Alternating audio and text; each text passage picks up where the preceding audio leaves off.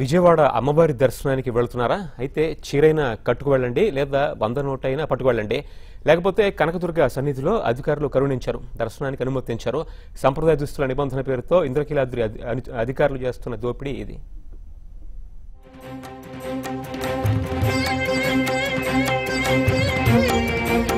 హైందవ ధర్మానికి దిక్సూచి హిందువులకు ఆధ్యాత్మిక నేల మన దేశం. అమ్మను ఆది పరాశక్తిగాను కొలుస్తాం బిడ్డలను కాపాడుకునే చల్లని తల్లిగాను ఆరాధిస్తాం.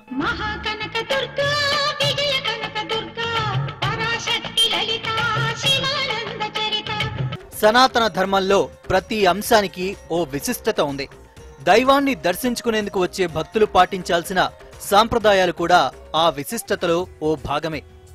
నుదుటన బొట్టు చీరకట్టు ధోవతి. ఇలా పవిత్ర భావన కలిగించే కట్టు బొట్టు హైందవ ఆలయంలో విధిగా పాటించాల్సిన కనీస సంప్రదాయాలు.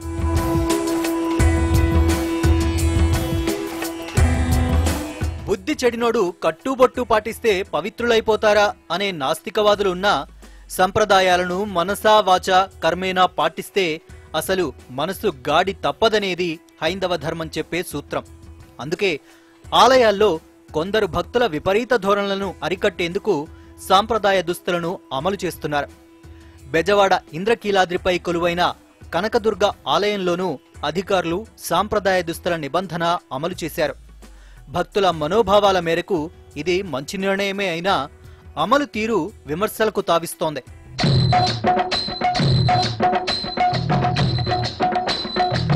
ఆలయ అధికారులు అమల్లోకి తెచ్చిన నిబంధనల మేరకు మహిళలు సాంప్రదాయ దుస్తులు ధరించడం తప్పనిసరి.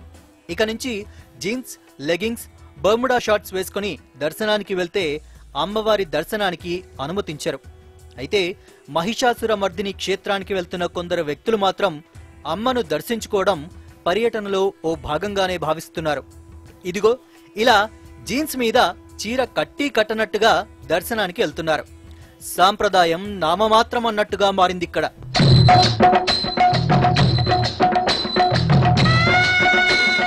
తూతూ మంత్రపు చర్యలను భక్తుల ముసుగులోని ఈ వ్యక్తుల తీరును అమ్మవారి భక్తులు కడిగి పారేస్తున్నారు. మీ పాశ్చాత్యపు పిచ్చిని కొండ కిందే పూడ్చిపెట్టి అమ్మవారి దర్శనానికి రండి అంటూ ఆగ్రహం వ్యక్తం చేస్తున్నారు. దైవాన్ని దర్శించుకునే ఒక్కరోజైనా సాంప్రదాయం పాటించని మీరు భక్తులెలా అవుతారు? దైవాన్ని కొలిచేది ఆలయాలకు వెళ్ళేది విశ్వాసాలతోనే. ఆ విశ్వాసమే లేని మీరు హైందవ ధర్మం నమ్మే సాంప్రదాయాలను పాటించని మీరు భక్తులెలా అవుతారు? భక్తులే కాని వారు ఆలయాలకు రావటం ఎందుకు అని ప్రశ్నిస్తున్నారు. ఈ కలికాలపు బుద్ధులు వితండ వాదనలు పక్కన పెట్టి నిజమైన భక్తుల మనోభావాలను రక్షించాలని కోరుతున్నారు. కలియుగం కలియుగం కలుషాలకు ఇది నిలయం. అసలైన భక్తులకు అడుగడుగున సంకటం. కలియుగం కలియుగం కలుషాలకు ఇది నిలయం. అసలైన భక్తులకు అడుగడుగున సంకటం. అమ్మవారి క్షేత్రానికి జీన్స్ టైట్ ఫిట్టింగ్ డ్రెస్సులతో వచ్చేవారికి విఘ్నత లేకున్నా ఆలయ అధికారులు ఏం చేస్తున్నారు? జీన్స్ పై నామమాత్రంగా చీరకట్టుతో వెళ్తున్న భక్తులను ఎలా అనుమతిస్తున్నారు? ఈ మాత్రం దానికి నిబంధనలెందుకు? ఈ ప్రశ్నల్లో ఒక్కదానికి కూడా ఆలయ అధికారుల్లో సరైన సమాధానం ఉండదు. ఎందుకంటే నిబంధనలు అవాసుపాలవడం వెనుక వారి పాపం కూడా ఉంది. వస్త్రధారణ నిబంధనలపై భక్తులకు అవగాహన కల్పించే కార్యక్రమాలేవీ చేపట్టలేదు ఆలయ అధికారులు.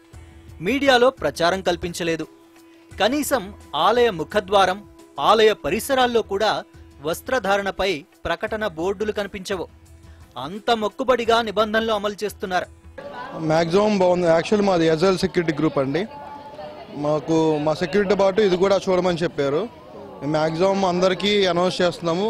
మ్యాక్సిమం టీ షర్ట్స్ జీన్స్ ఉన్నాల్ని ఆపి యాజ్ పర్ టెంపుల్ రూల్స్ ప్రకారం డ్రెస్ కోడ్ ప్రకారం మేమైతే మ్యాక్సిమం మా ఉందని ట్రై చేస్తున్నాము. ఇక్కడ చూస్తున్నారా? చీరకు వంద రూపాయలు. బోర్డు పెట్టి మరీ దోచేస్తున్నారు. సాంప్రదాయ దుస్తుల నిబంధనలు తెలియకుండా వచ్చిన వారు వంద రూపాయలిచ్చి చీర కొనుక్కోవాల్సిందే. వాళ్ళకి రాకపోతే కట్టి పంపిస్తున్నాం మేడం. టాపు లెగ్గిన్ వేసుకొచ్చిన చున్నీగా కవర్ చేసుకుని వెళ్ళమంటున్నాం. జీన్స్ వచ్చిన వాళ్ళకేమో శారీ తీసుకొని వెళ్ళమంటున్నాం మేడం. శారీలా కట్టి పంపిస్తున్నాం రాకపోతే. వాళ్ళు సెలెక్ట్ చేసుకోమంటున్నాం మేడం. హండ్రెడ్ రూపీస్ పే చేయమంటున్నాం. మీకు నచ్చిన శారీ తీసుకెళ్ళండి రిటర్న్ లేదని చెప్తున్నాం. ఆలయానికి వెళ్తున్నామన్న భావన లేని భక్తులు వారికి అవగాహన కల్పించాల్సిన అధికారుల నిర్లక్ష్యం. చీరల బిజినెస్కు మాత్రం బాగా కలిసొచ్చింది.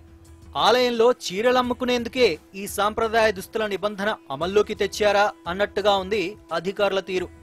తిరుమలలో వస్త్రధారణపై నిబంధనలు విధించినప్పుడు విస్తృత ప్రచారం కల్పించింది టీటీడీ. ఆ విచక్షణ ఇంద్రకీలాద్రి ఆలయ అధికారులకు ఎందుకు లేకుండా పోయిందనే విమర్శలు వినిపిస్తున్నాయి. కలియుగం కలియుగం కలుషాలకు ఇది నిలయం. అసలైన భక్తులకు అడుగడుగున